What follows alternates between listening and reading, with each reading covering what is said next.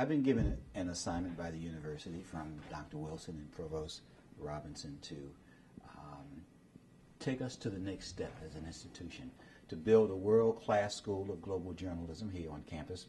Uh, that's a tough assignment.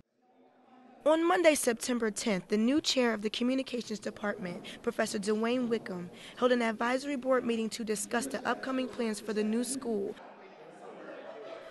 Faculty members attended the meeting to find out the direction of the transitions and changes. We uh, met as a group of faculty with um, the Board of Visitors and we discussed you know, how do we actually implement uh, this school?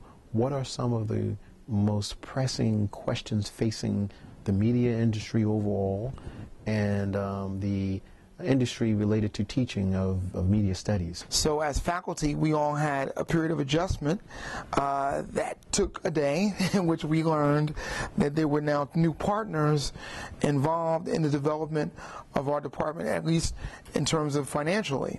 Professors have faith that the new chair, DeWayne Wickham, can successfully make these changes. I've known uh, Mr. Wickham for over 25 years now. And I know what a good journalist he is, and I know what direction he wants to take this program in. Professor Wickham continues to keep faculty and students aware of when they are needed and how they can assist in the transitions of the new anticipated school. This is Felicia Towns reporting for Morgan State Student Media.